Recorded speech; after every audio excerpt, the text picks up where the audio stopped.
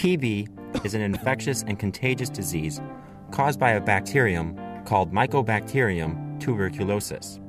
TB represents a truly global threat.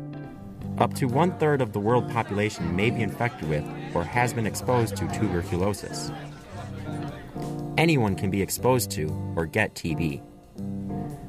This disease is transmitted or spread from person to person through droplets of saliva or mucus expelled during a sneeze, coughing, shouting, or singing, as this may contain the TB bacteria if the person has the disease in its active stage.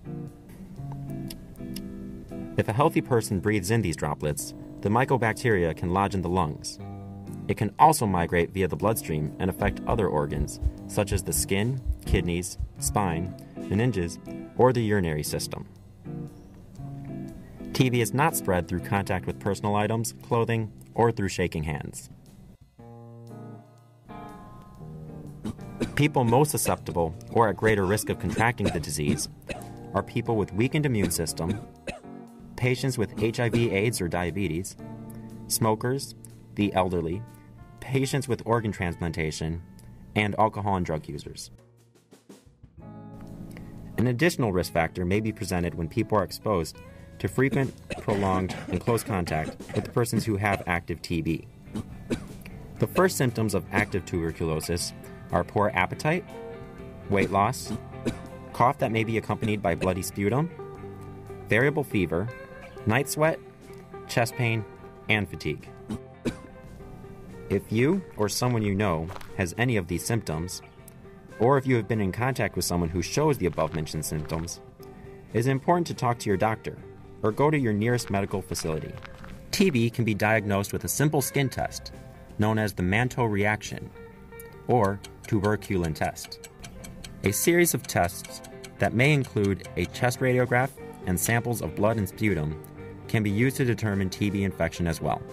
TB is treatable and curable. Once diagnosed, it can be addressed through a series of specific antibiotics. Talk to your doctor when planning your treatment. It needs to start quickly to increase your chances of overcoming TB. Make sure you understand their instructions and get answers to your questions.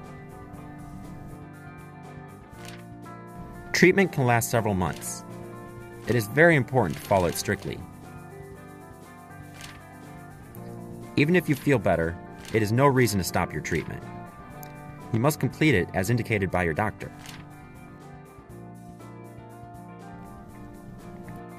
Failure to comply with treatment as indicated can cause the mycobacteria to become resistant to antibiotics. This can make TB more aggressive and dangerous, a condition known as drug resistant tuberculosis. To prevent the spread of infection, maintain good nutrition and drink a lot of fluid to stay well hydrated. Attend regular health checkups with all family members. Avoid staying for a long period of time in a crowded place.